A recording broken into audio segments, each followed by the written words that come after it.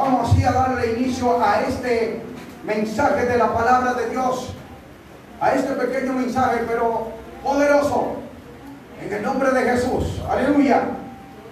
Alabado sea el Señor.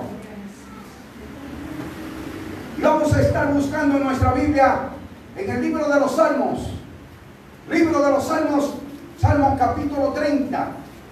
Bendito el nombre del Señor. Aleluya.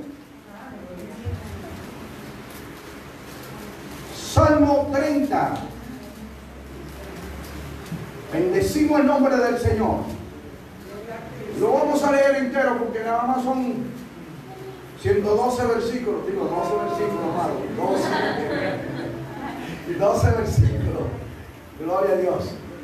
Sí, 10, 112, porque yo sé que hay mucha gente que gusta no le gustan tanto leer así tan largo. Gloria a Dios. Pero 12 versículos lo leemos cómodo, ¿verdad?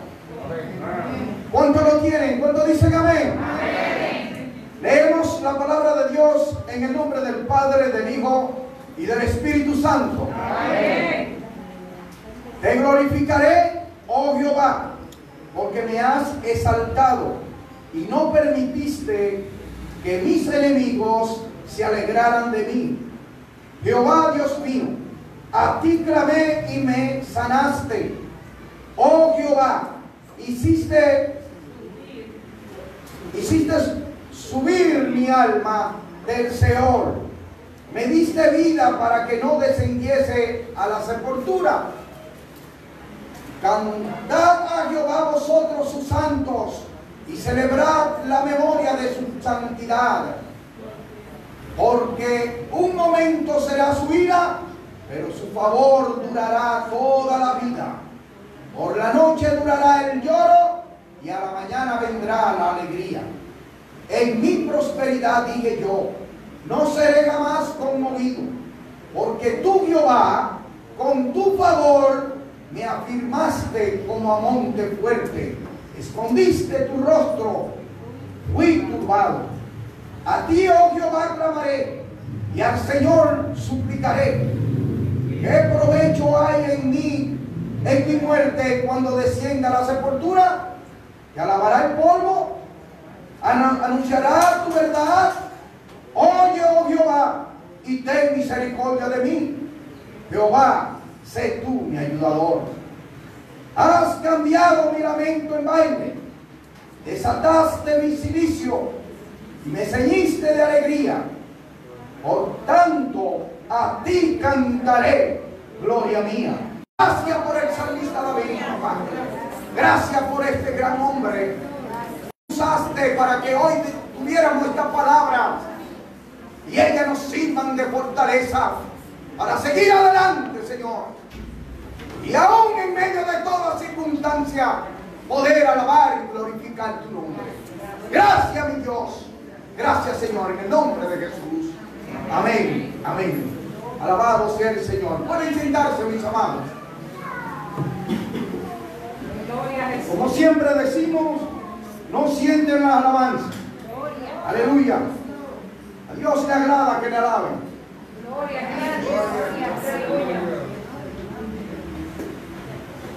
Y a su nombre. Y a su nombre. Mis amados, por lo que podemos ver en los primeros versículos, el salmista David estuvo pasando por una situación muy difícil de enfermedad. La Biblia no describe qué tipo de enfermedad, qué problema era que le estaba pasando en cuanto a su salud. Pero, según la descripción que él hace, era algo muy grande. De manera tal que se podría decir que era una enfermedad terminal. Estaba a punto de la muerte. Él dice que lo sacó del Seol. Bendito el nombre del Señor. David estaba casi muerto. Aleluya. Pero aquí muestra lo que es un hombre agradecido. David reconoce que solamente el poder de Dios pudo librarlo de la muerte. Alabado sea el Señor. Y es por esto que David dice, te glorificaré, oh Jehová, porque me has exaltado. A David lo perseguían los enemigos. Y los enemigos de David sabían que no podían enfrentarse a él. Porque el poder de Dios estaba con él y era invencible. Y de seguro que al oír que David había muerto, todos ellos se iban a alegrar. Y por eso dice en el Salmo, en el, Salmo, en el versículo número 2, en, la parte segunda del número 1, perdón, y no permitiste que mis enemigos se alegraran de mí, porque se iban a alegrar, iban a quitar el enemigo más poderoso, aleluya, iban a poder hacer, creían ellos, porque si aún así Dios permitía que él muriera, iba a levantar otro a quien él iba a usar con el mismo poder. Pero para ello, si David moría, entonces se podían comer con yuca a Israel. Alabado sea el Señor. Graso error. Así sigue creyendo Satanás y atacando a, a los pastores de la iglesia, pues va a destruir la iglesia. No sabe Satanás que si uno, un pastor parte de este mundo, al otro día Dios levanta uno aún con mayor unción que el que estaba anteriormente. Alabado sea el Señor. Porque la obra de Dios no se detiene. Hasta que Cristo nos suene la trompeta y nos levante. Que esto será muy pronto. Bendito el nombre del Señor. Jehová Dios mío, tú a ti clamé y me sanaste. Aleluya. Eso hizo David. La Biblia dice claramente que Jehová mismo hablando, David, que tiene su corazón conforme al corazón de Dios. Aleluya. Gloria a Dios. Y puedo yo, podría usted decir, puedo yo clamar como clamó David y él me escuche y también me sane. Amén. Claro que sí, lo puede hacer. Lo único que usted tiene que tener es un corazón conforme a la voluntad de Dios. Gloria a Ser obediente a Dios. Sujetarse a Dios. Bendito el nombre del Señor. Y usted verá que todo lo que impide que usted esté viendo la gloria de Dios va a huir de usted. Amén. La Biblia dice, someteos a Dios. Resistí al diablo y él huirá de vosotros. Es difícil resistir al diablo. Nosotros en capacidad humana no podemos resistirlo. Pero si nos sometemos a Dios, podemos resistirlo. Y Él a huir de nosotros porque no nos va a ver a nosotros. Así es. imagen de Cristo en usted. Amén. Y Él le huye a la imagen de Cristo. Alabado sea el Señor. Y a su nombre. Alabado sea el Señor. Gloria a Dios.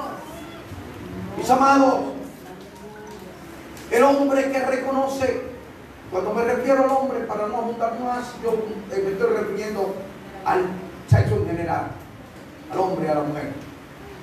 El hombre que reconoce lo que Dios ha hecho en su vida, de dónde lo sacó Dios y de lo que lo ha librado Dios.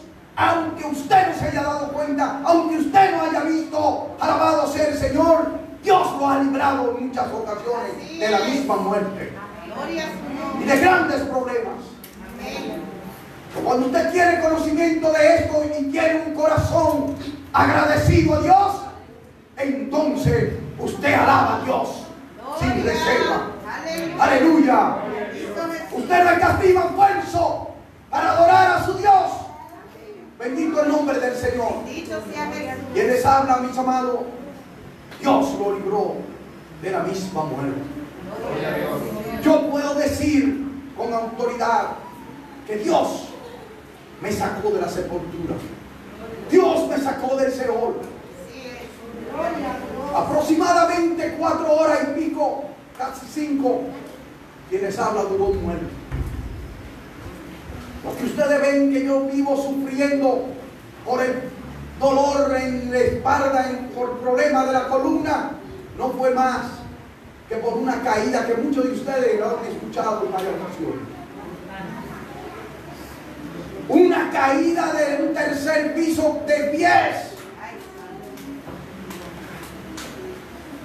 de pies, mis amados, y caí. Y en el aire solamente yo re- recuerdo que dije, ay, me maté. Y fue la última palabra que dio.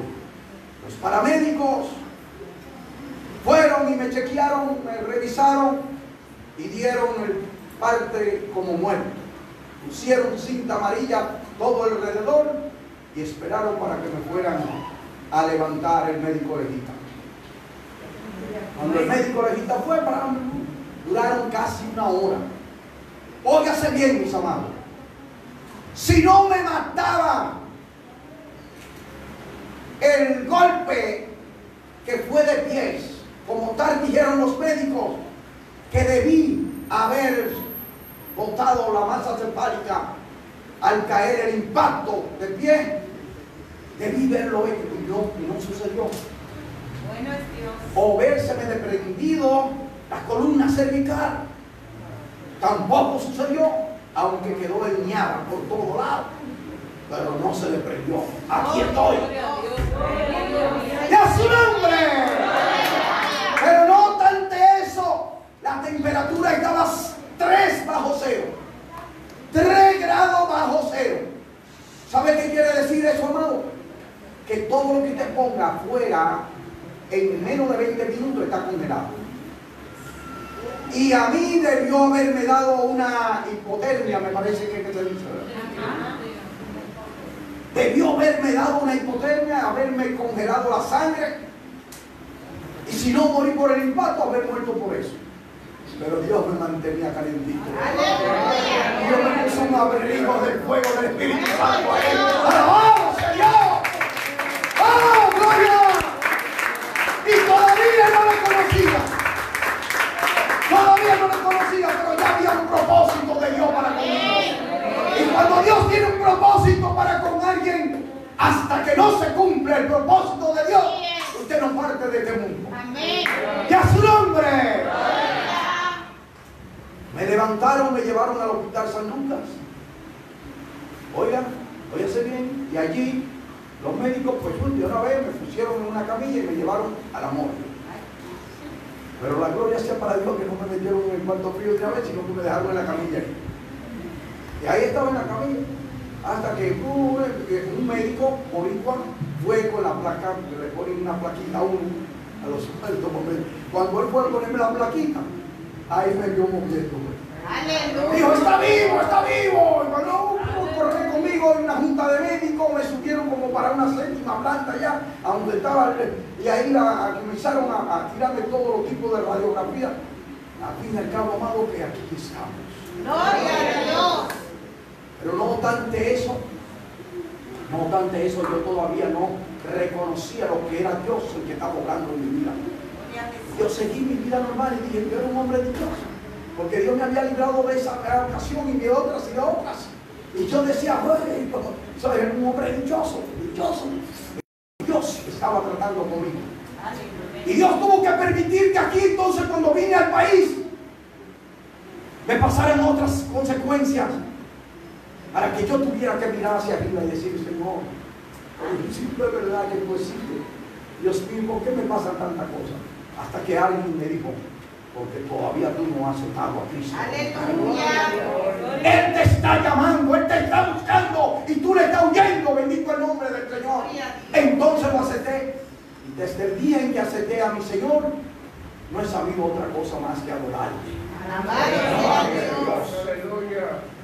No es que me sanó definitivamente de la columna, sigo sufriendo dolores. Y cuando le oro a veces con llanto, he podido oír la, la voz como, si- como si me la estuviera repitiendo a, a lo que le digo a Pablo. Bástate mi gracia. Aleluya. Lo que hice por ti fue más grande que lo que tú estás sufriendo. Gloria a Dios. Te saqué del Señor. ¿no? Gloria a Dios.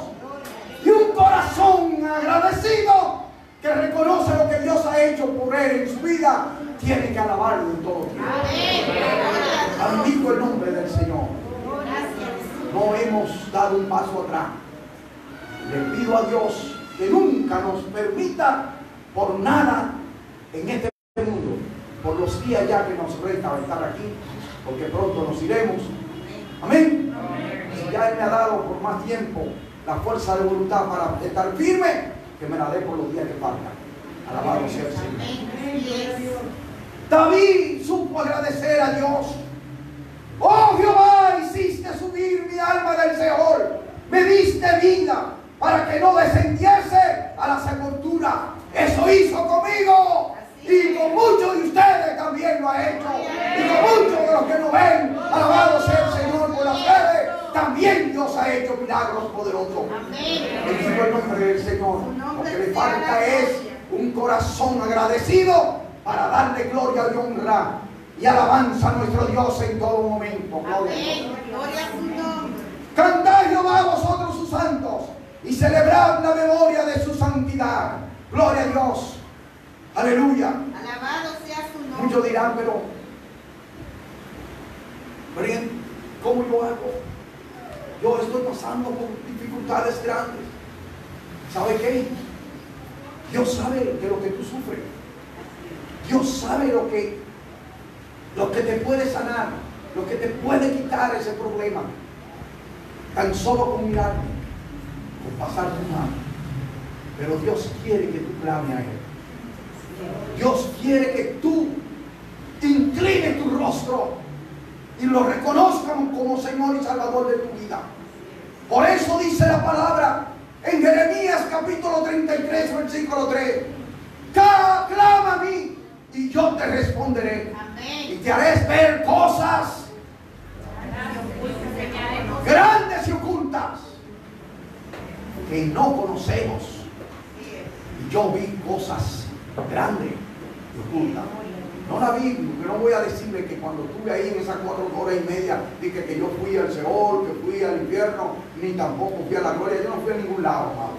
Yo no me di cuenta de mí. Yo estaba en una tiniebla, yo no, eh, no sabía nada. Yo nada más supe cuando desperté que dije, oh, estoy vivo. Esa fue la segunda palabra. La última fue, oh, me maté. Amén. La gloria sea para Dios. Voy a hablar y que, que no, yo hablé con Dios y que Él me dijo, devuélvete, que tengo tu tiempo. No, no, nada de eso. Él lo hizo Él, sin consultarlo. Porque Él es Dios. Aleluya. Aleluya. Y es soberano. Amén. Y a su nombre. Clama a Jehová. Y Él te responderá. Porque un momento será su ira, pero su favor dura toda la vida. Por la noche durará el lloro y a la mañana vendrá la alegría. Aleluya. Así mismo es cuando la gloria de Dios se manifiesta en su vida.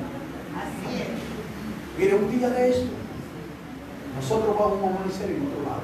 Amén. Nos vamos a acostar, no sabemos si va a ser durmiendo, pero no, si es, va a ser de noche, nos vamos a acostar y vamos a despertar en la gloria de Dios. Alabado.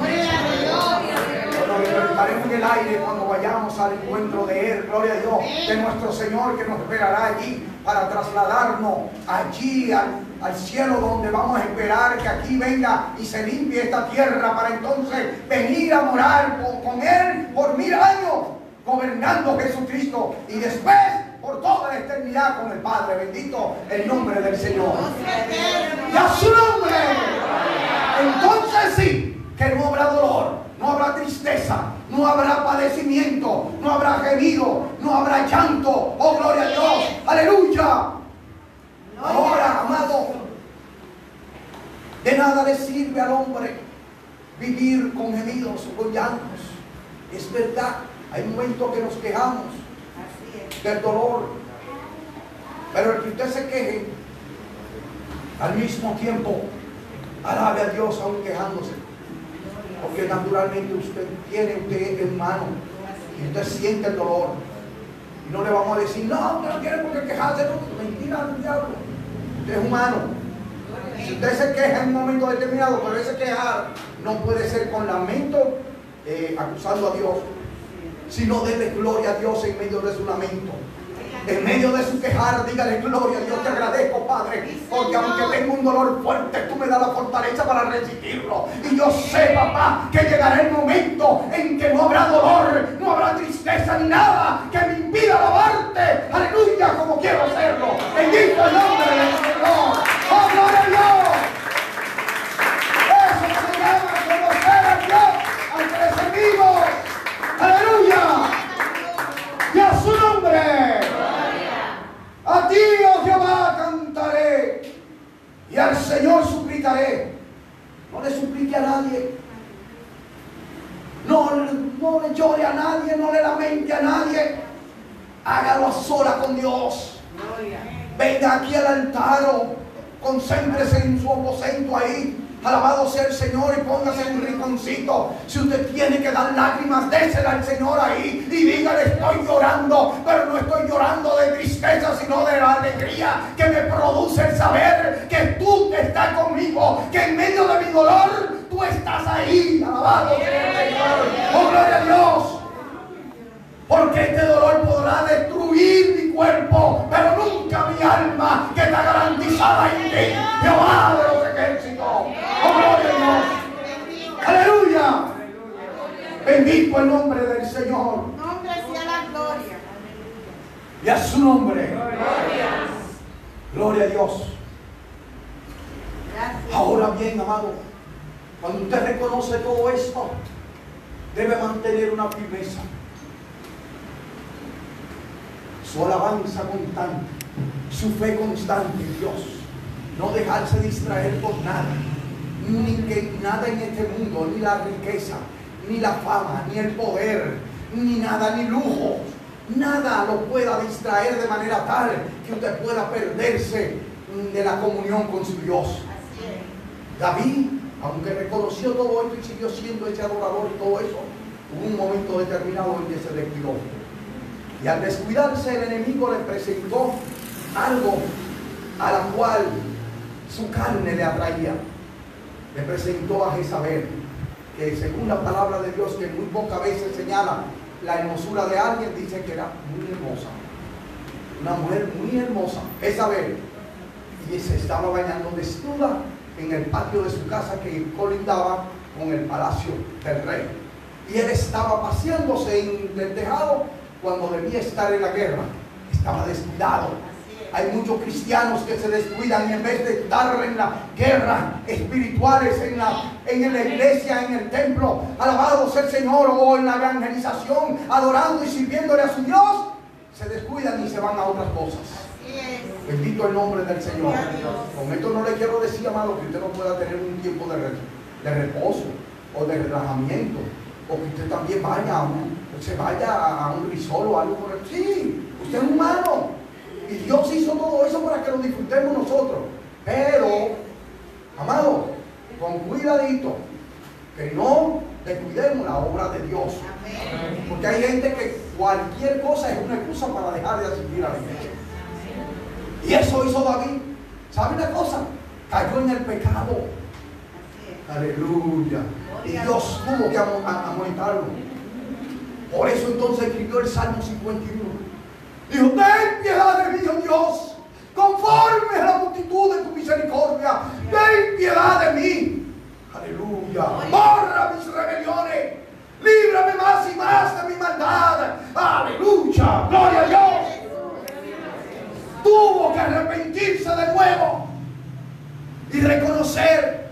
En el versículo 10 dice, ya en lo último, dice, devuélveme el gozo de mi salvación, porque el gozo de la salvación se pierde cuando usted se descuida de Dios, cuando usted se aparta de su Dios y deja de servirle como tiene que hacerlo, el gozo de la salvación se pierde. Amén. Y es por eso que ve gente que no se gozan en los cultos, gente que no se gozan con la lectura de la palabra, gente que no se gozan con las oraciones.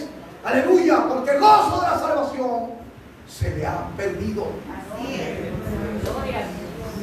Y a su nombre. Y a su nombre. Amados hermanos, si verdaderamente reconoce que Dios ha hecho cosas grandes en tu vida, que te ha librado de cosas grandes, tienes que adorarlo. Amén. Dice ya en los últimos dos versículos, amado, que es los dos versículos que casi todo el mundo le gusta leer en este salmo número 30. Has cambiado mi lamento en baile. Eso le gusta a la gente, que cambió su lamento en baile. Ah. Desataste mi silicio y me ceñiste de alegría. ¿Sabe lo que era el silicio? La tristeza, la amargura, el dolor. ¿Eh? El silicio era un tipo de vestimenta que se ponía para postrarse delante de Dios por X tiempo definido. 10 días, 20 días, un vestido de saco. Amén. Con ceniza y sin comer nada en silicio ahí. Era un martirio. Y él dice, desataste mi silicio. Gloria a Dios. Gloria a Dios. Aleluya. Me ceñiste de alegría. Por tanto, a ti cantaré. Gloria a mí. Yo no sé, hay para mucha gente que la gloria de ellos son el carro. La gloria de ellos son el sueldo. La gloria de ellos es cualquier cosa que tengan en este mundo. Cuando no la tienen, ustedes están sin gloria. Pero el que la gloria de Dios es su gloria, ese tiene gozo todo el tiempo. Amén. ¡Y a su nombre! Gloria a Dios. Y no estaré callado. El hombre agradecido no está callado. Amén. Aleluya. Por eso creo que aquí hay muchos hombres. Aquí hay muchos hombres, muchos siervos de Dios. Mujeres que son agradecidos de Dios. Porque aquí hay, aquí hay alabanza. Debiera haber más. Debiera haber más. Esto debiera encenderse en fuego. Gloria a Dios. Con esto no quiere decir que hagamos desorden. No, no, no. Todo en el orden de Dios. Amén. Pero alabando al Señor con júbilo. Con alegría y gozo. Gloria a Dios. Aleluya. Y no estaré callado. Jehová Dios mío. Te alabaré para siempre. ¿Cuánto alabarán al Señor para siempre? ¡Amén! ¡Dáselo fuerte a nuestro Dios! ¡Aleluya! ¡Gloria a Dios! ¡Aleluya! ¡Gloria a Dios! Te adoramos, Jesús. Amados, nos queda poco tiempo en este mundo. Así es. Estemos preparados ahora más que todo tiempo. Así es. Óigase bien, usted como cristiano, como hombre y mujer de Dios, que leen la palabra de Dios, que están en la China, usted debe reconocer que ya el fin está cerca. Aleluya. Por lo tanto, no debe sorprendernos nada que venga a este mundo. Gloria a Ya Dios. nosotros del que estamos advertidos. Amén. Alabado sea el Señor. Póngase de pie. Vamos así a orar. Vamos a estar orando para que en nuestro